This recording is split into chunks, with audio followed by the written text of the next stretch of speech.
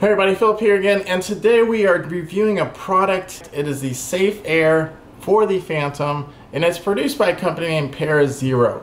Now before we get too far into this, this is a product that I have received at no cost to myself, um, and actually Kelly and I are working on a review together about it. While I did not go out and buy this with my own money, I still promise, as always, that I'm going to give you an unbiased review according to my understanding and feelings of the product.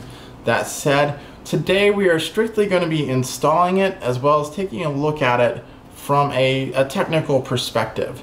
And towards the end we're probably going to talk about a little bit about regulation as well and what this does and does not mean for you as a drone flyer having this installed on your system. Now before we get too far, I do want to talk about the people who make this, and that's ParaZero. So ParaZero was started in 2014 in Israel, and it's founded by a group of passionate aviation professionals. And this group of people really wanted to help solve the main problem with drones, and that's safety. So that's how they got started, and since then they've become one of the largest suppliers of parachutes for drones of all shapes and sizes. The most recent product they've put forward though is the SafeAir for the Phantom. So this product right here is specifically for the Phantom 4 series and we're going to be installing it on my Phantom 4 today. Now to give you some context, I just bought this Phantom 4 from Kelly from Ready Set Drone and now he's asking me to put it on the line for this product review. So this should be very interesting and very exciting. I'm definitely going to link to the video where we're doing the testing of the product as well. But let's not get ahead of ourselves. Let's talk about the product first. So this is a system that's meant to do two things. One, it's going to stop your propellers from rotating, which is a cause of in injury for people underneath of you as well as property beneath you.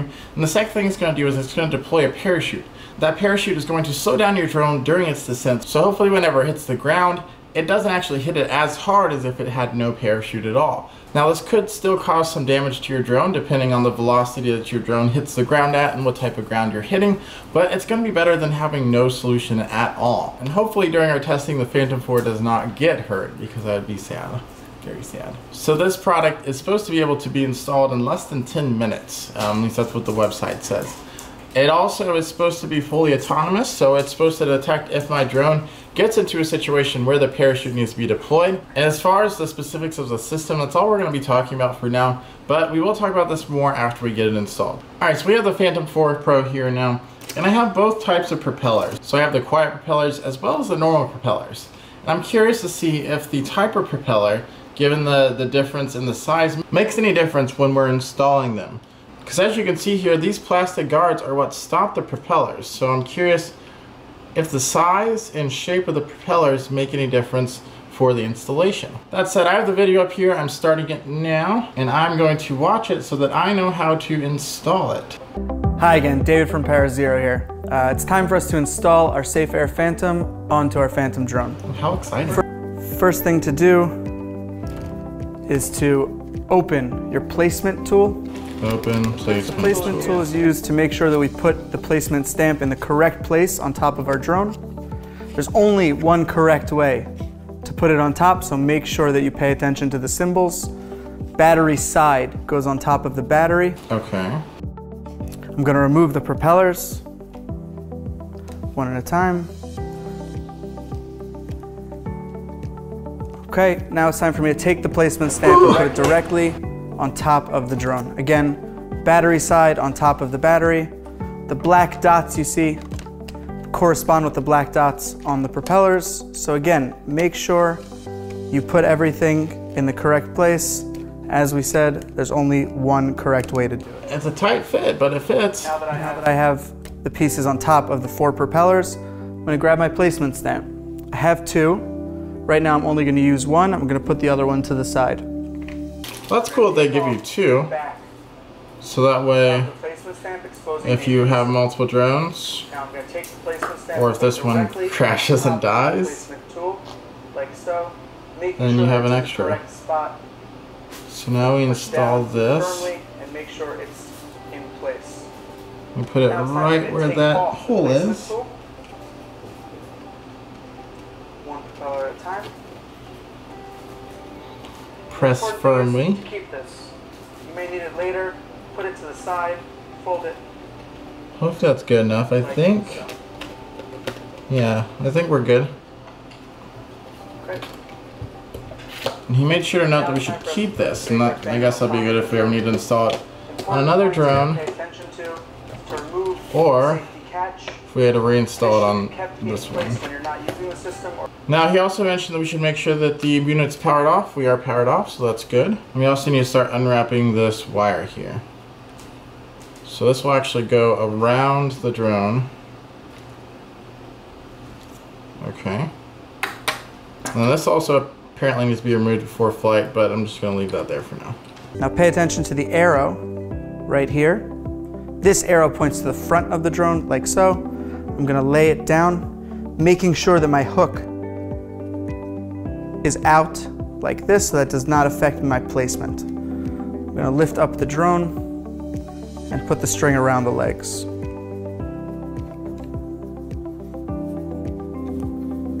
So he has it off to the side here. Arrow placing forward. The important thing when you lift this up is to make sure that yes, okay. any of the sensors. And these need to go around the legs. Above the sensors. Okay. And again, there's only one correct way to put it. Simply sit it on top. Okay. Okay. Now I'm gonna says we need to sure sit it on top. Is around the side underneath the battery.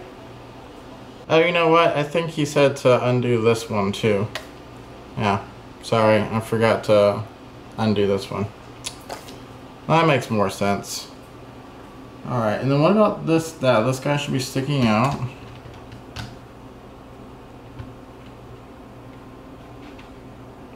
What are we doing, dude? Go back.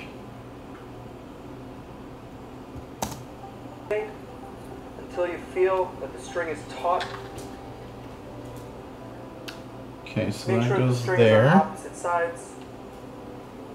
Once you feel it's tight enough, lift up the drone by the system, making sure it feels like one complete unit. Alright, so this doesn't actually twist on like I thought that it might. What it does instead is it just sits on it sits on top of that piece that we installed and then um, on this side over here there's a little hook th that we put that wire up into and then on the back here near the battery there's a little twisty thing that we twist until it's tight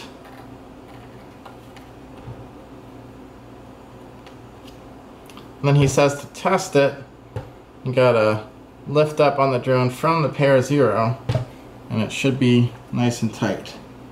Okay, that looks good, I think. The only question is, is the battery gonna fit in? Let's go grab a battery real quick. So now, if we try to install the battery,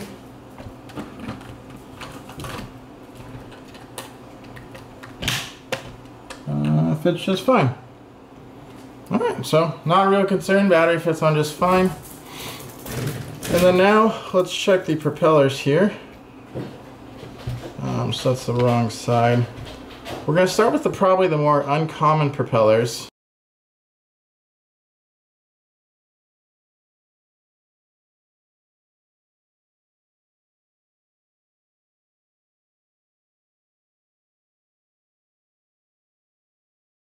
So I'm not sure if it's something that I did or if it's something that's just a natural part of the product. But the actual placement of this has a little bit of play. So if you take a look on this side, it can move back and forth a little bit and you can actually see the propeller slightly hitting it.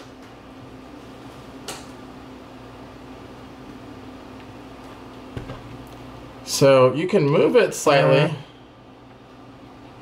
and then that, that issue is gone.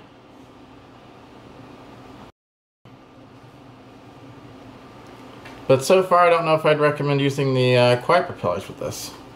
Let's put on the regular ones and see if the margins are a little bit better.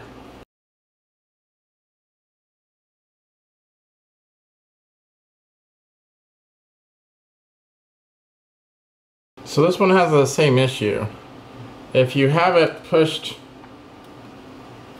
just out, just off the center, like it, it could move around just a little bit, has a little bit of play.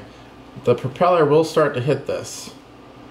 Um, so I don't think that's an issue with the quiet propellers alone. Let's see if making this any tighter helps.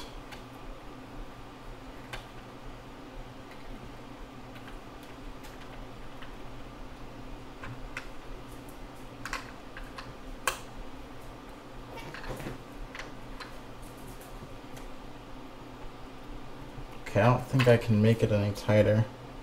Oh, maybe one more. Alright.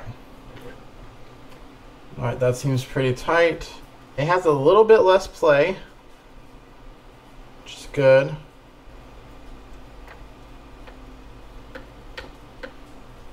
I can still turn it so that it hits it though. You can hear that, right? I can turn it back, and it doesn't. But if it gets turned slightly to the left here,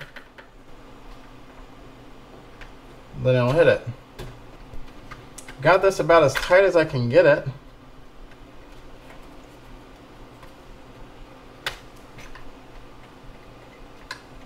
Let's try one more. Okay, I was able to get one more. Let's yeah. Well, ladies and gentlemen, I just deployed the parachute. Um, well, I guess now's a good time to talk about how the propellers actually stop. Whenever the parachute's deployed, what happens is, I'll try to keep this folded. The entire unit turns, and then these propellers start to hit these rubber points, and that's what stops them from moving. Um, yeah, now I'm, gonna, now I'm gonna have to watch a video about how to repack this. So uh, I guess bear with me.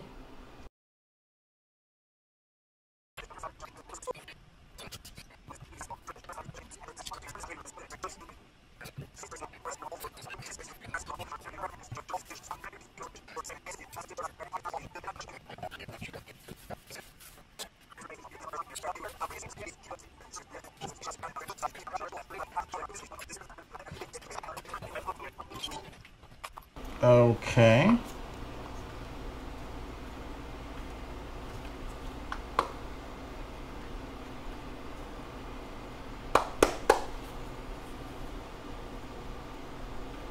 I mean, I don't know how uh, how I feel about the way this is held in. If you look closely, you can kind of see that there's a little bit of gap there. Let me rewatch the video in case he mentioned something about a gap. Hold the parachute over. Okay, you're supposed to check to make sure it looks tight on all corners and then looks good.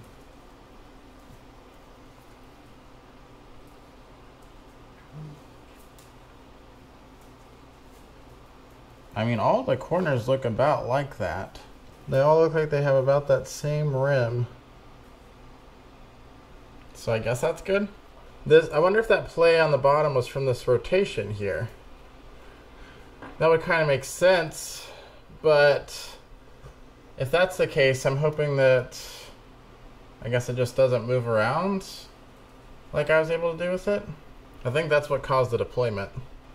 So I guess putting it down initially as is, not trying to twist it at all, does seem to get it into a place where it's good.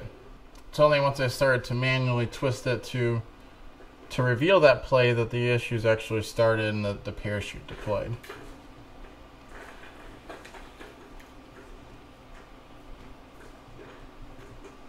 Still feel a little bit iffy about that cover, but I guess we'll have to deal with it. So we did installation, we also did repacking. I didn't plan on doing repacking in this video.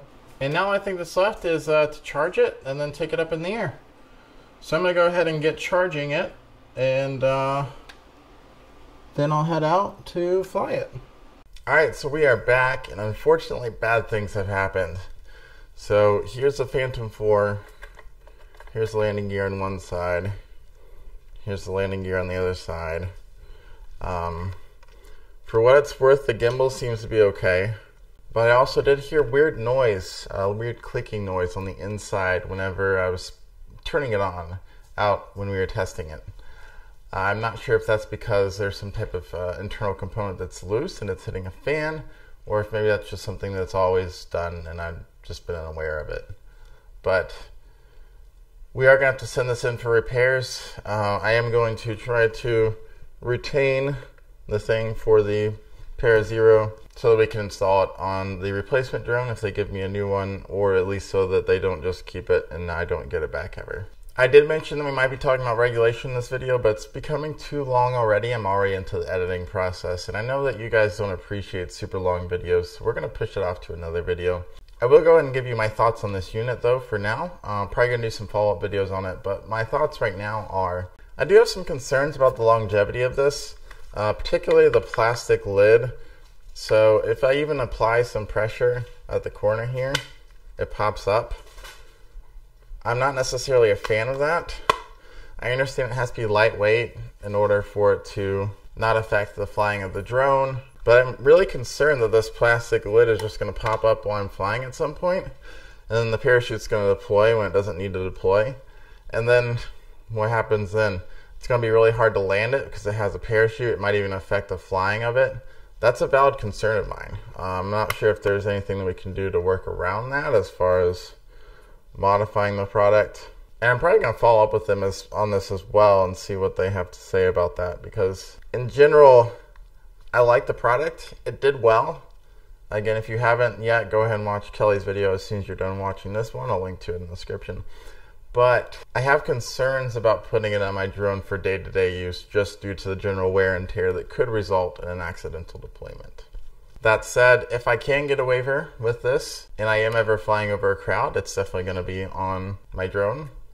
But as for an everyday kind of thing that I would have on just in case, I'm really not feeling it. I think it would be great to have something like this on the drone that you can use every day, but I don't know if I can work with that. All right, guys, that's it for now. There are three videos coming up very soon. One is the announcement of the winner from our last contest on the Amazon pallet video. The other is a follow-up to the Amazon pallet video. I think I'm almost to a point where I can talk about it. And then the third one will be the laws and regulations around this, as well as some of the reasons why you might want to have one.